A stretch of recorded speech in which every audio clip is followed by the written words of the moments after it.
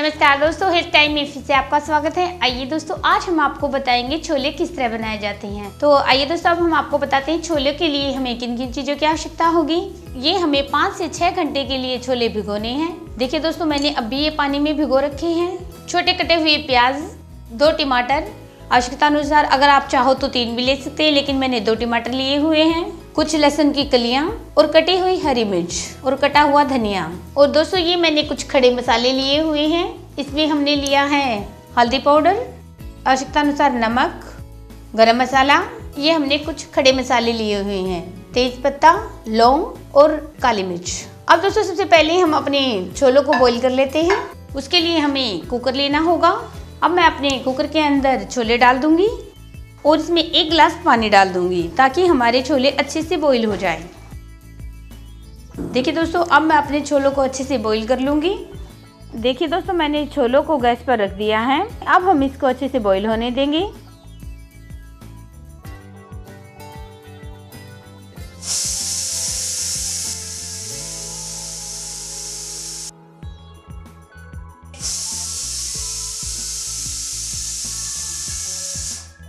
देखिए दोस्तों, हमने अपने कुकर में चार सीटी लगवा ली है। जब तक ये अच्छे से बॉईल होकर तैयार होते हैं, तब तक हम इसका पेस्ट तैयार कर लेते हैं। तो दोस्तों, अब मैं आपको बताती हूँ, छोलों के तड़के के लिए हमें किन किन चीज़ों की आवश्यकता होगी। देखिए दोस्तों, मैंने इन टमाटरों को मिक्सी में पीस लिया है। मैंने प्याज को भी अच्छे से मिक्सी में ग्राइंड कर लिया है। और ये कटा हुआ धनिया, तेज पत्ता, लौंग और काली मिर्च। और दोस्तों, ये हाफ़ टी स्पून जीरा half teaspoon garam masala और आवश्यकता अनुसार नमक और हाफ़ टी स्पून हल्दी। तो दोस्तों, अब मैं आपको बताती हूँ हमें इसका पेस्ट किस तरह तैयार करना है। अब मैं आपको बताऊँगी आपको किस तरह तड़का लगाना है। सबसे पहले मैं अपनी कढ़ाई में ऑयल डालूँगी। देखिए दोस्तों, मैंने अपनी कढ़ाई में तीन बड़ी चम्मच तेल डाल लिया है। दोस्तों, ये मैंने रिफाइंड ऑयल लिया है। आप चाहो तो सरसों का तेल भी ले सकते हो या घी का इस्तेमाल भी कर सकते हो। अब दोस्तों, मैं इसके अंदर थोड़ा सा जीरा डाल दूँगी। और थोड़ा सा खड़ा मसाला डाल दूँगी। दोस्तों, जब तक ये अच्छे से पक रहे हैं, तब तक हम इसे हल्का सा हिला देते हैं। दोस्तों, तेज पत्ता डालने से हमारी सब्ज़ी काफ़ी खुशबूदार और काफ़ी अच्छी हो जाती है और लौंग से भी हमारी सब्ज़ी में काफ़ी अच्छी खुशबू आती है। ये दोस्तों ऑप्शनल है, आप डालना चाहो तो डाल सकते हो। अब मैं अपने प्याज को अपने छोक के अंदर डाल दूँगी। जिसे हल्का सा हिला देते हैं। दोस्तों, हमने प्याज के अंदर ही लहसुन और अदरक पीस ली थी। अब दोस्तों, मैं इसे बहुत अच्छे से ब्राउन कलर का करूँगी ताकि हमारी सब्ज़ी का अच्छा कलर आ सके। देखिए दोस्तों, मेरे प्याज ब्राउन कलर के हो चुके हैं। हमें इसे ज़्यादा नहीं पकाना है। और अब मैं इसके अंदर टमाटर का पेस्ट डाल दूँगी, जो कि मैंने मिक्सी में अच्छे से ग्राइंड कर रखा है। और इसे भी अच्छे से हिला दूँगी। जब तक हमारे टमाटर अच्छे से पक नहीं जाते, तब तक हम इसे अच्छे से बॉईल करते रहेंगे।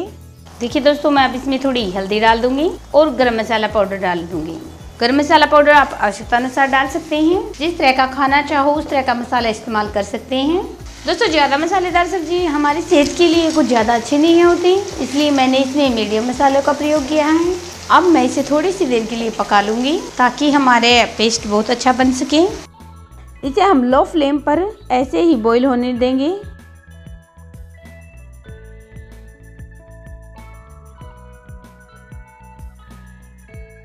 देखिए दोस्तों, हमारे पेस्ट का कलर कितना प्यारा आया हुआ है। हमारे छोले अच्छे से बॉईल हो चुके हैं। अब हम इन्हें अपने छोक के अंदर डाल लेंगे। देखिए दोस्तों, मैंने इसे अपने छोक के अंदर डाल दिया है। ये अच्छे से अब हम इन्हें मिक्स कर लेंगे। देखिए दोस्तों, आप देख सकते हैं हमारे छोलों का रंग कितना अच्छा आया हुआ है। देखिए दोस्तों, अब मैं इसके अंदर थोड़ा नमक डाल दूँगी। नमक आप अपने स्वाद अनुसार डाल लीजिएगा और अब मैं इसे अच्छे से मिला लूँगी। देखिए दोस्तों, बिल्कुल हलवाई जैसे छोले बनकर हमारे तैयार हो चुके हैं। यह छोले बहुत ही स्वादिष्ट और अच्छे बने हुए हैं और इनका कलर भी देखिए दोस्तों, कितना प्यारा आया हुआ है। दोस्तों, अब हम कुछ देर के लिए अच्छे से बॉईल होने देंगे। देखिए दोस्तों, मेरे छोले धीरे धीरे बॉईल होने लगे हैं। अब मैं इन्हें थोड़ा सा हिला देती हूँ। दोस्तों, अगर लो फ्लेम पर आप इसे थोड़ी देर के लिए बॉईल होने देंगे तो आपके छोले बहुत ही स्वादिष्ट और अच्छे बनेंगे। देखिए दोस्तों, हमारे छोले अब बॉईल हो रहे हैं। अब हम इसे थोड़ी देर के लिए लो फ्लेम पर इसी तरह उबालेंगे, ताकि हमारे छोले और भी टेस्टी बन जाए। हमारे छोले बनकर तैयार हो चुके हैं। दोस्तों, ये बहुत ही स्वादिष्ट और बहुत ही अच्छे बने हुए हैं। और दोस्तों, अब मैं इसे सर्व करूँगी। देखिए दोस्तों, हमारे छोले बनकर तैयार हो चुके हैं। इनका कलर भी कितना प्यारा आया हुआ है। अब दोस्तों, मैं इसकी गार्निश के लिए इनके ऊपर थोड़ा सा धनिया डाल दूँगी। देखिए दोस्तों, हमारे छोले बनकर तैयार हो चुके हैं। दोस्तों, इसी तरह इस रेसिपी को आप घर पे बनाइएगा और अपने बच्चों को खिलाइएगा। आपके बच्चों को बहुत ही पसंद आएगी। और दोस्तों, आपको हमारी वीडियो कैसी लगी, ये आप हमें ज़रूर बताएँ। दोस्तों, अगर आपको हमारी वीडियो पसंद आई हो तो हमारी वीडियो को लाइक कीजिए, अपने दोस्तों में शेयर कीजिए और हमारे चैनल को सब्सक्राइब करना ना भूलें। दोस्तों, अगली एक नई वीडियो में फिर से आपसे मुलाकात होगी। तब तक के लिए बाय बाय